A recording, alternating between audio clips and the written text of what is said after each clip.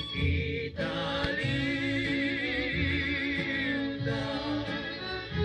Ya me voy con el alma entristecida por la angustia y el.